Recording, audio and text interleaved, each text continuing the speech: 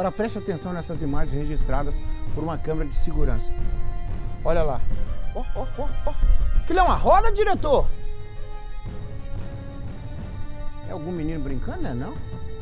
Isso é a roda daquele caminhão?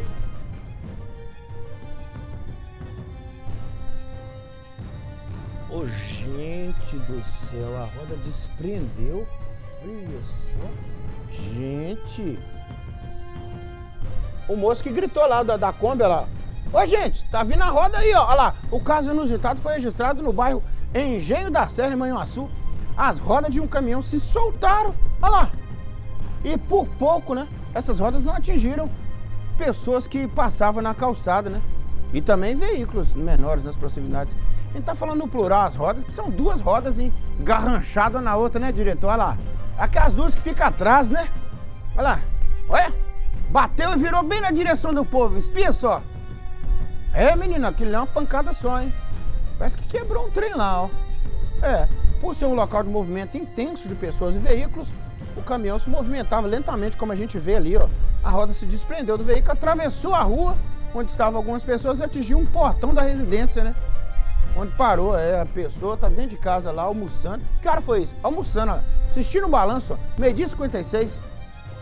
Eu falando aqui e a roda, bum, no portão, lá.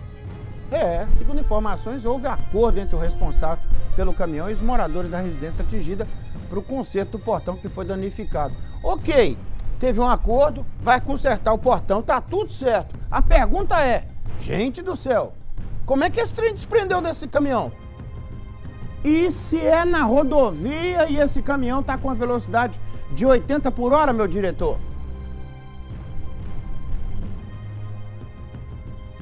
Então, gente. Nossa, é pneu. Tem um. Um guitarrista, rapaz. Da banda Catedral, que eu cresci ouvindo essa banda. César. José César Mota. Morreu assim, no acidente assim.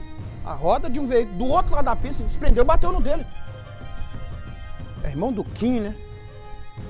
Kim do Catedral.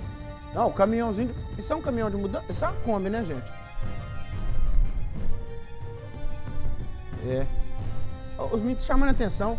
O que, que esse rapaz está fazendo em cima do caminhão de mudança ali, em cima do colchão, o, o, o, diretor? A imagem é curiosa. Já que ninguém. É, ninguém foi afetado, eu tô mexendo com a imagem.